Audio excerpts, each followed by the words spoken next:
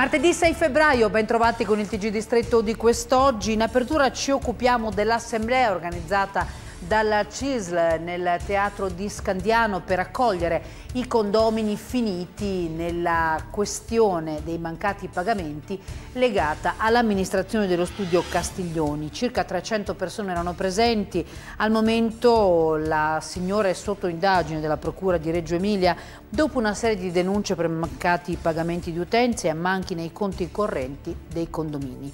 Era presente anche il sindaco di Scandiano Matteo Nasciuti, sentiamolo intervistato dal direttore Roberto Caroli. Insomma, noi nel distretto questa volta abbiamo gettato un bel sasso nello stagno.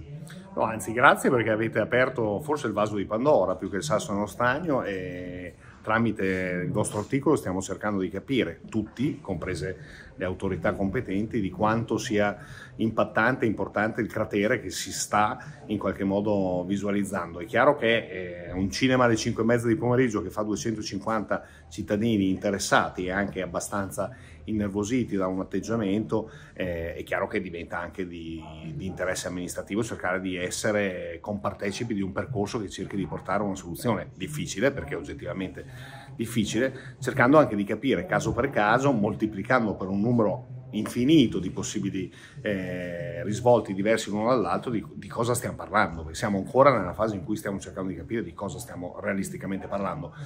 Da un punto di vista specifico di quello che stiamo parlando da un punto di vista generale ho paura che l'impressione sia quella che avete scritto voi nelle vostre righe. Cosa sta emergendo all'interno del teatro di importante? Beh, sta emergendo sicuramente una fragilità normativa, nel senso che eh, non, non, si può essere in qualche modo succubi di una eventuale truffa, se di questo si tratta, rispetto al fatto che nessuno controlli chi è tenuto a gestire, a gestire i conti di tanti condomini.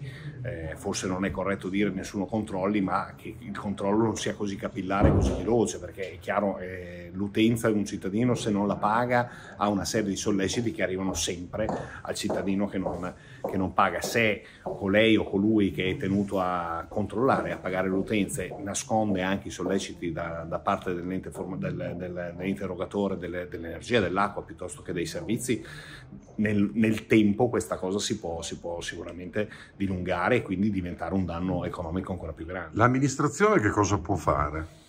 Beh, sicuramente cercare tutti i tavoli di concertazione anche con eh, chi eroga servizi, da IRAN a Enel a chiunque, per cercare di capire caso, caso, per caso nel proprio territorio, a prescindere dal fatto che abbia proprietà o meno, cercare di fare, di fare la parte dell'amministrazione pubblica, quindi cercare una concertazione su direzione dei pagamenti piuttosto che la ratizzazione, piuttosto anche di cercare di insomma, fare una class action rispetto, rispetto al rifacimento del, del, danno eventualmente erogato. Ma eh, c'è la possibilità di organizzare un tavolo comune per gli esposti alla magistratura? Assolutamente sì, ne stiamo parlando anche con gli altri sindaci, cercando di capire chi vuole montare su rispetto a un tema di, di titolarità, rispetto anche a una denuncia collettiva.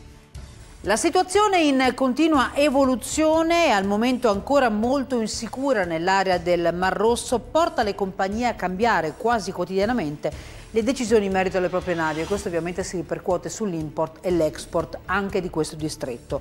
L'ultima comunicazione ufficiale in questo senso è arrivata dalla società CMA-CGM che ha fatto sapere di avere deviato tutti i servizi inizialmente instradati attraverso il passaggio del Mar Rosso sulla rotta Capo di Buona Speranza. Questo fa sapere l'azienda per salvaguardare in primis i propri marittimi che restano la nostra priorità.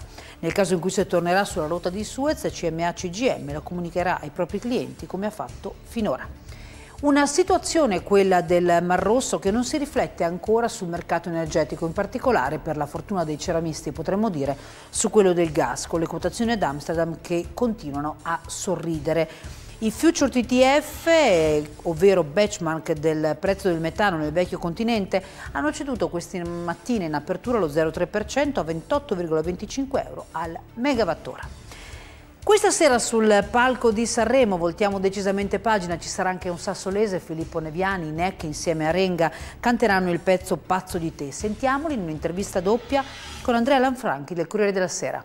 Questa è la canzone in realtà che ehm, è figlia di un momento preciso perché eh, da uomini, e questo ci teniamo a sottolinearlo, adulti, maturi, abbiamo sentito proprio l'urgenza in questo momento di raccontare un amore adulto, maturo, e abbiamo sentito proprio la voglia di raccontarlo in questo modo, su questo palcoscenico. È stata una scelta tra l'altro dei nostri figli, sono state loro, le nostre figlie a scegliere questa canzone, c'erano in ballo due cose, però io credo che anche loro, alla luce del, dei, dei racconti di amori ci teniamo a sottolineare, oltre al concetto ampiamente esteso da Francesco, no, che la canzone dal punto di vista melodico, strutturale, è una canzone che riporta echi di eh, pezzi anni 60. Esatto. Avete detto quasi a San, ai Sanremo in bianco Esatto, almeno questo è il nostro percepire la canzone. E parte, la narrazione parte anche dagli outfit. Se tu poi vedrete, adesso non vorrei spoilerare troppo, però c'è tutto un racconto che parte da, perché quelli erano gli amori raccontati così come vorremmo raccontarlo noi. Quindi fatti da grandi voci, grandi eh, cantanti, grandi autori, quindi la canzone che come diceva Filippo ha questi echi degli anni 60, perché quello era l'amore raccontato come secondo noi si, dov- si dovrebbe raccontare anche adesso. Veniamo alle novità di prodotto con la rubrica ecetail.com. Il sito è www.ecetail.com, è dedicato a tutte le novità di prodotto. Protagonista di oggi, Vulcanica di Marca Corona.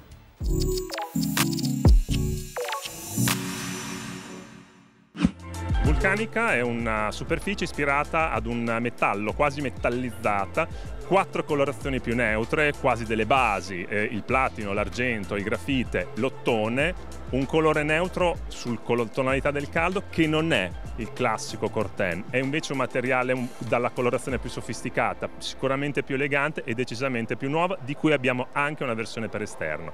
A questi quattro basi due colori, due colori che sono le ossidazioni classiche del rame. Il verde rame è quello che noi abbiamo chiamato azul, che è l'ossidazione della superficie rame quando si usano degli acidi a base di fosfato. Anche quest'oggi chiudiamo con la montare del debito pubblico italiano, supera i 2.861 miliardi di euro. Arrivederci.